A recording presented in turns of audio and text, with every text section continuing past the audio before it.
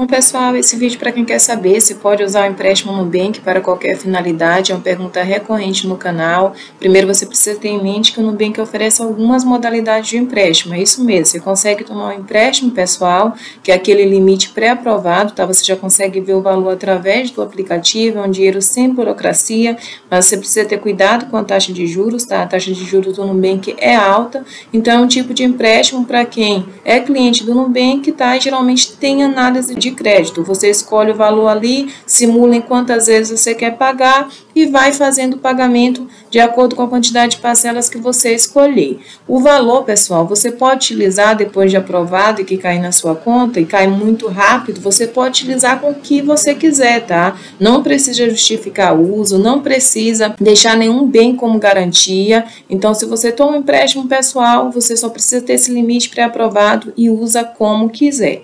O Nubank também oferece o NU consignado, mas no caso do NU consignado tem um público específico. É um tipo de empréstimo para quem é servidor público federal que recebe pelo CIAP, tá? Em breve eles vão incluir aí o pessoal do INSS também, aposentado e pensionista, mas nesse caso do, do NU consignado, o desconto é feito diretamente no salário da pessoa que tomou aquele empréstimo. O Nubank também oferece o investimento como garantia, que é quando você coloca um valor ali na sua conta, tá? Você faz investimento, seu dinheiro fica guardado, investido durante esse período, mas ele fica como garantia do empréstimo. Então ele vai ter, tá? você vai estar tá recebendo seu rendimento normalmente, geralmente você consegue tomar até cinco vezes do valor que você colocar como garantia, mas caso você não pague o valor da prestação da parcela, após 20 dias de atraso, o Nubank vai utilizar esse valor aí para fazer o pagamento. Nenhuma modalidade de empréstimo que o Nubank oferece, você precisa dizer com que você vai utilizar, justificar o uso. Você pode usar com qualquer finalidade. Então é isso, você pode escolher o tipo de empréstimo, tem também a antecipação do FGTS,